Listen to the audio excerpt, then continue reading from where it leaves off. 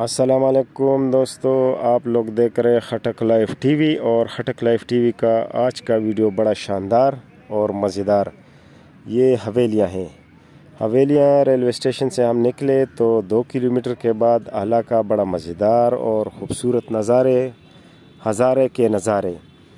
تو ہم جا رہے حاجی آباد۔ حاجی آباد حویلیاں سے پینتیس کلومیٹر دور ہے، لیکن علاقہ بڑا مزیدار ہے۔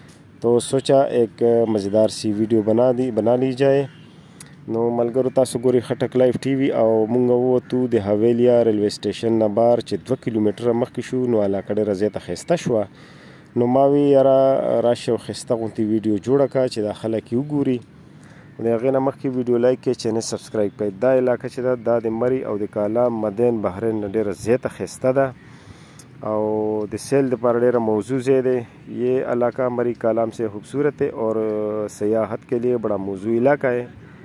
اور لوگ بھی کافی اچھے تو آپ ساتھ ساتھ دیکھ لیجیے۔ مرګرو وسره وسره ګورئ دا ډېر ښایسته علاقه ده دا شینکۍ تاسو کتی یہ سبزه آپ لوگ دیکھ رہے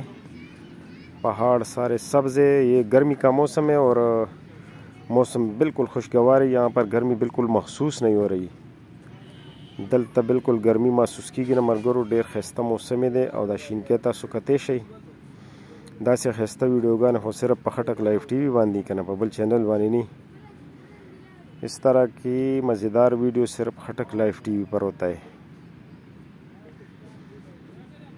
یہ ضلع ہزارہ کے خوبصورت ترین وادیوں میں سے ایک ہے۔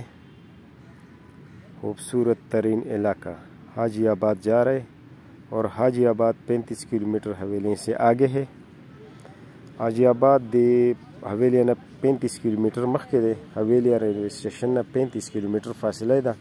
وہ علاقہ ډېره زیاته ښایسته ده ډېرو ملګرو دا وایي چې راته په اردو کې ویډیو وکړم ما اردو خو کافي کمزوري ده خو چلو خپل کوشش مې وکړو